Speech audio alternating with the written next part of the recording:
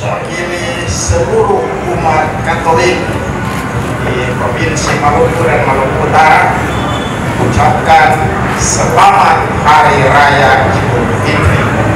Mohon maaf lahir dan batin. Muslim sukses.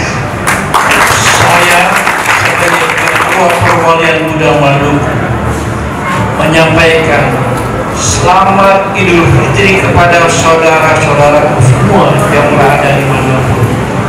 Minal aidin wal faizin. Mohon maaf lahir dan batin.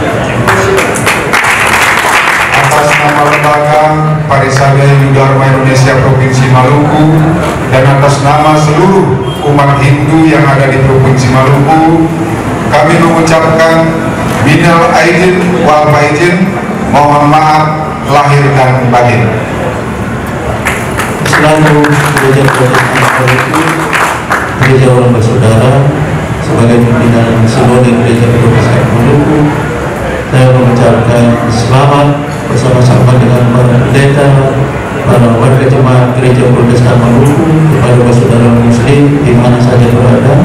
Selamat Hari Raya Idul Fitri. Mohon maaf lahir dan batin. Sekian dan